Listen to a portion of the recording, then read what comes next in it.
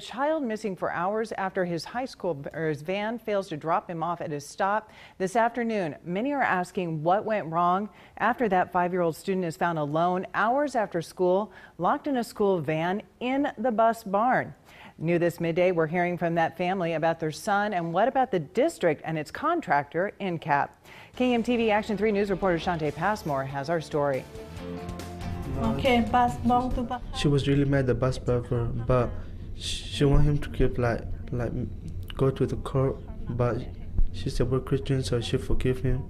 Relief this morning after a horrible evening of worry that ended with this.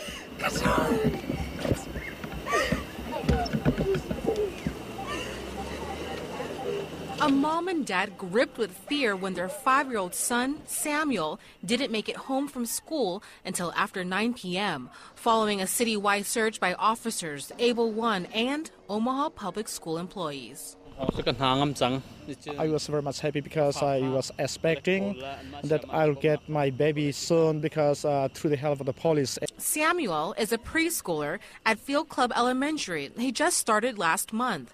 We're told a teacher walks the students to the van at dismissal. What happened yesterday? Was it a different bus driver, different teacher? What happened? Things like a sub, sub bus driver. It's like sub, yeah. So the bus driver was a sub. Yeah. That's what they heard from the mother of one of Sam's friends. The boys go to the same school, are in the same grade, take the same van, live in the same area.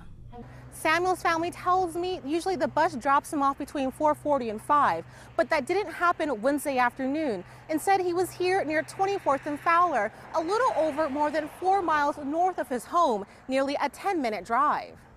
Officers found Sam inside a van, alone and in the dark.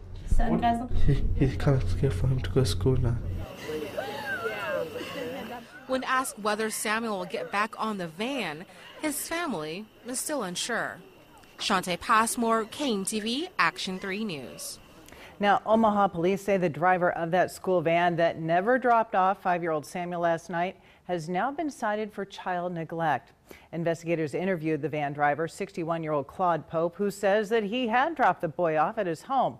Now, after searching for hours, officers went to the facility where the student vans are located and found the child sitting in a seat alone inside that van. Again, officers cited Pope for child neglect.